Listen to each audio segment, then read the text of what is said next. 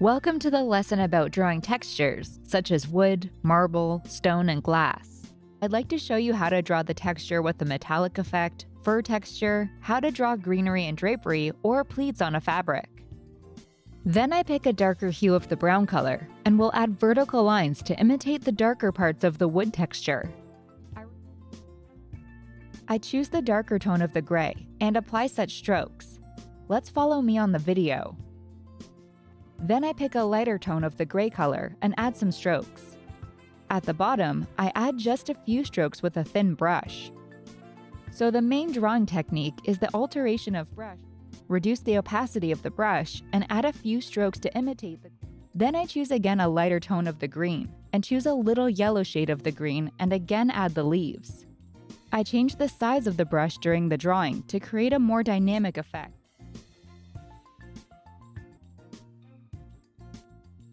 So we have almost the same wall with the greenery, and we learn how to draw the greenery effect in Procreate. Let's add again darker strokes to make the folds deeper and apply the Gaussian blur. In the end, I choose a sketch brush and add strokes, hatching to make a more artistic effect. So we can use this technique for drawing folds on the curtains, covers, and etc.